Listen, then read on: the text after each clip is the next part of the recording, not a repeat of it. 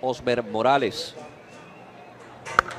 Aquí la conexión, amigos, entre el jardín izquierdo y el central. Esa pelota pica y va a lo más profundo. Están andando para la goma. Adán Rivásquez con la segunda carrera, amigos.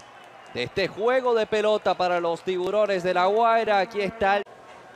No lo ha podido pasar. A ver si gana la batalla. El lanzamiento, la conexión al jardín central, amigos. Responde Carlos Castro y trae par de carreras más, amigos. Para el equipo de los tiburones de la Guaira, anotadas por Michael García.